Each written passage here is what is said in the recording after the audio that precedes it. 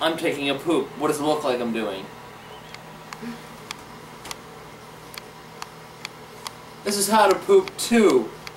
Advanced style, cleaning up the mess. First you want to fold your paper like this. It's good. Then you wipe.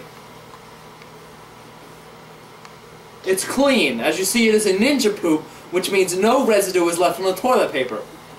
This is very rare, but very good. You wipe again, just to test.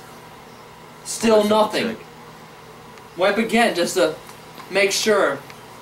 Still nothing. Oh, a little bit of blood. Wipe again, just to make sure. Okay, we're good. Once you're done, you need to pull your pants back up.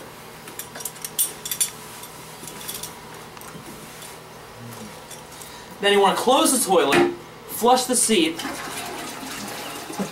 wash your hands, walk out of the bathroom, close the door, and then rape Dominic. Ah! Ah! What? What? Get. Ow! I told you. And that's how it's done. For advanced.